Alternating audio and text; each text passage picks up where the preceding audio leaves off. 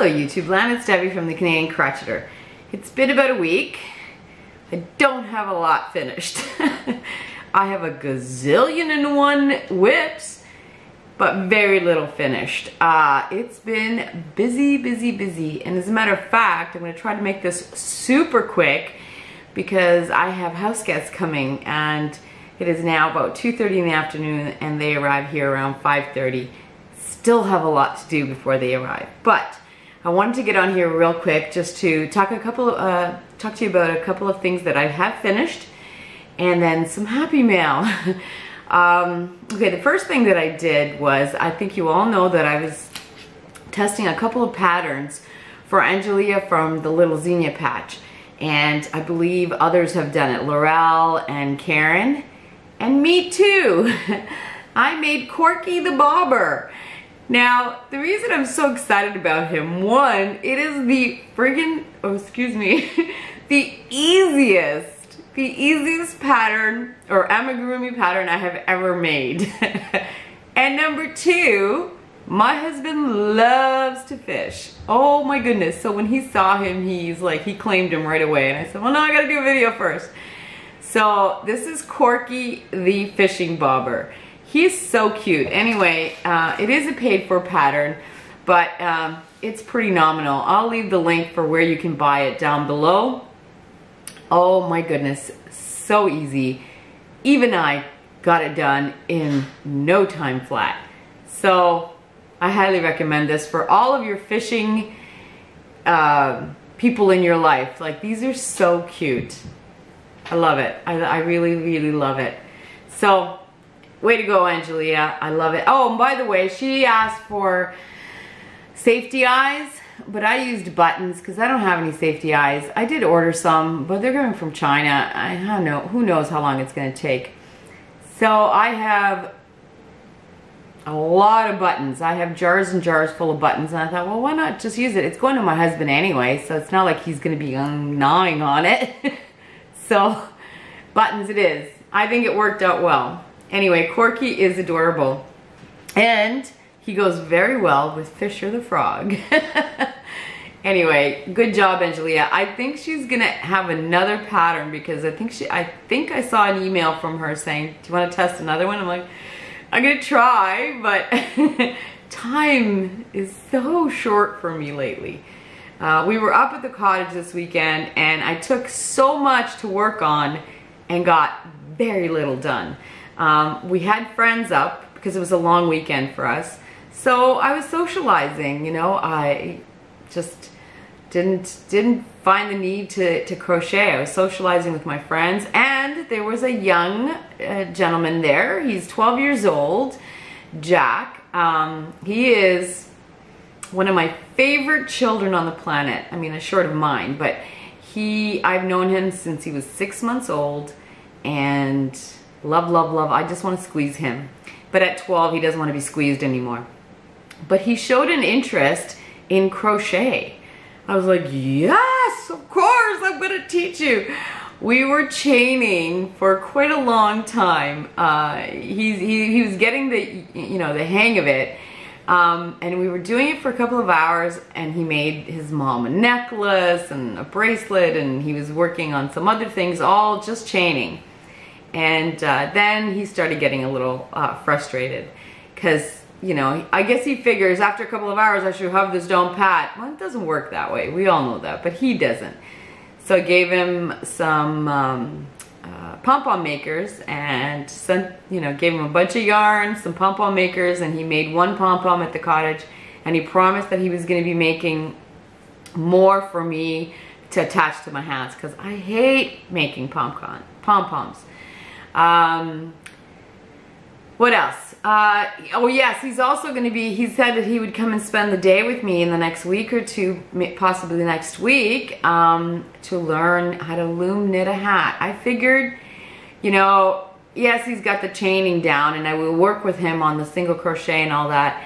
But loom knitting, I mean, you can, he can, if he sits and he does it for a day, he'll have a hat and that'll, that'll hook him even more. anyway, uh, looking forward to that. The other thing that I did was a knitted project. Now I saw this uh, pattern and it's called the LTYC Super Bulky Cowl.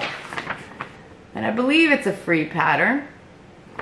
Um, actually, I'm pretty sure it's a free pattern. And, but they use uh, Malabrigo Rasta, which is a super bulky. I don't have that. And I wasn't gonna buy it because I'm just learning how to knit. So I, I downloaded the pattern, I looked at it. It's literally one row. It, it's one row, that's it. the whole pattern is one row. And I did not have, so anyway, you use the um, super bulky using uh, number 15 uh, circular needles. Well, I don't know what number 15 is. Uh, it's, it's big. Um, but I didn't have that. So I used number six and I used Wool-Ease Thick and Quick, which is a bulky, super bulky. And I made it a little neck warmer. So, and this is the, this is knitted. This is knitted. The problem is, because I'm new, I only knew one bind off and that one's way too tight. So what was supposed to be a neck warmer is actually a hair bun. so uh, I said, I can't be beat by a pattern. That's crazy. It's a one, it's a one sentence. I can't be beat by that. So I got another, another same thing, Wool-Ease Thick and Quick. Oh, this one, the colorway is mustard. And this one, the colorway is cranberry. And so, and I had uh, 12, I found 12 millimeter needles, which are thick and big. And this is what I made. Okay, I know my gauge, my tension needs to be worked on, but I just can't believe I knitted this. I knitted this. And this one, I went looking on YouTube um, for a stretchy bind off and I found one and it was a tutorial by Very Pink Knits. She's awesome, by the way. And she, look at this stretch. Oh my God, I love it, I love it. So this one is a cowl, a neck warmer. I love it. And you all know, if you've been around long enough, you know that I love all things around my neck. I love it. So this is what it turned out. I don't have Malabrigo, didn't have number 15. I don't even know what number 15 needles are, but this is using a super chunky and um, number 12 millimeter needles. And it's got this kind of like a um, spiral. Anyway, you can see. Yeah, I needed that. I'm just ecstatic that I needed that. That's all I've got done. That's it. That's it. I got, like I said, I got a gazillion WIPs Um, but let's share some happy mail because we're already at eight minutes. The first thing I wanted to, sh to share, the first piece of happy mail is someone that has requested not to be named. So you know who you are and I wanted to thank you very much for this. This looks like an older Lion Brand booklet. But guess what? It's using the homespun, the stuff that I adore. I love this stuff. Anyway, in here, uh, so it's a, it's a booklet with the patterns. You have a wrap, an afghan, and this sweater made out of homespun. I love it. It's got the collar, it's, it's wonderful. As soon as I finish some of the WIPs that I have, I'm definitely gonna start on this. I love it, love it, love it, love it. And um, I love homespun. And you gotta see the card that she sent me. Look at that. Oh, oh my heart. I love it so much. Uh, well, like I said, you know who you are, and I thank you, thank you, thank you very much. And this will be a near future uh, make. Oh, I might as well show you what I bought. Finally got it. I bought this and I got Lykke Driftwood knitting needles, but two and a half millimeter, US 1.5. They look scary small, but I, I want to make socks or I don't know. I want. I have so much thin yarn. I want to try using it. So I bought that. Um, okay, what else did I get? I got, so you all know that I shouted out Nicole over at uh, Alpaca My Bag Mads Designs. And as a thank you, which is not necessary at all, um, she sent me a beautiful card and stitch markers. I'm just trying to open it. So even the bag is tied with a little tassel stitch marker. So cute. It's the details, which I don't possess. I don't possess those things. But look at that. Is that not adorable? It's a little, little tassel, tassel stitch marker. But inside, she sent me, oh my goodness, so many. She sent me um, a joy. Oh, it says joy, you have to trust me. And she sent me a ballerina uh, doing the splits. Uh, or is she a cheerleader? I'm not sure. She might be a cheerleader. Cheerleader. She sent me Believe. This one's just an oval that says Believe. And then this one, it's a dragonfly. And let me tell you, this weekend, oh my goodness, I wish I'd taken a picture. So we, we were infested with like bugs like crazy. And a few months ago, we were at a cottage show and they were selling these dragonflies on this wavy kind of clip thing that you clip to your hat. It worked. It didn't work so well against the mosquitoes, but the black flies, the horse flies, they stayed away. They did not touch me at all. And mosquitoes, they, they, they had a feast. But anyway, it's just a little, um, like a dragonfly, colorful dragonfly, and you clip it to your hat and it kind of waves, and all the bugs stayed away, I'm telling you. If I remember, I'll show, I'll bring it down from the cottage next time and I'll show you what I mean. I think everybody who goes out into the bush should have one of these. Awesome. Anyway, thank you, Nicole. That was very kind of you. Not necessary, but kind nonetheless. And then, this was this is a card that I received, and it was a lovely card by uh, uh, someone named Tony and she just wanted to wish me a great summer and tell me that she enjoys my podcast. And um, I seriously appreciate this because she took the time out of her day and mailed it and you have got to see the card. Look at that. Is that not adorable? I love it. Love it, love it, love it. Thank you, Tony. That was very, very sweet and uh, very unexpected. Uh, what else?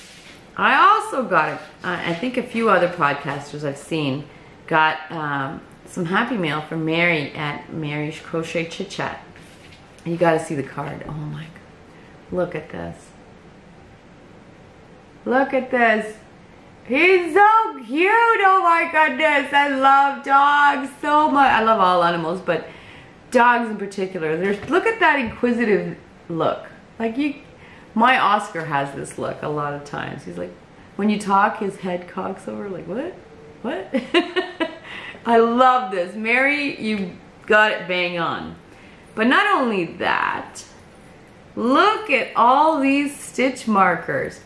And what I like about them, and I think I mentioned this before, they're actually earrings. Um, they're easier to to use, so they're earrings. So anyway, let's see what let's see what we got. We got Ireland, of course. We got Ireland, and we got a four-leaf clover. Ah, four-leaf clover, of course.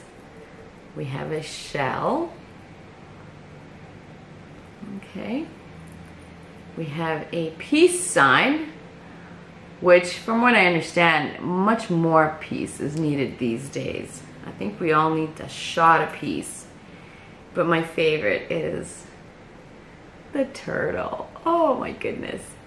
And I did see turtles over the cottage this weekend. They were the painted turtles. Oh, my, they're little. They were like, like this.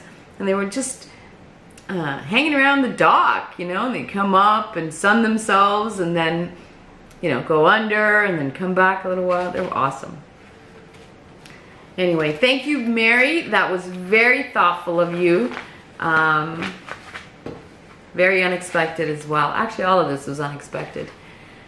And the last one that I got today, I ran to the mailbox, was um, a beautiful card from a, a, a, fellow Canadian named Michelle. And um, she just wanted to say thanks for having the channel. But she sent a beautiful little card. Okay. And the great thing that she, she made, she sent me some handmade items and I love them. And at first I thought, oh my goodness, they're face washes because they're the perfect size. They're the perfect size. Look at that. And look at the colors. It's like a purple. So I think, okay, for sure it's cotton. But I've never seen this color. I, I, I'm, I'm not sure if it's sugar and cream, lily sugar and cream, because I've never seen this combination. So it's a, a series, you got greens and burgundies and purples and blues and then the yellow, and so she pulled the yellow out of that and made the center. So I thought, oh, they're face washes because they're perfect size, but no, they're coasters.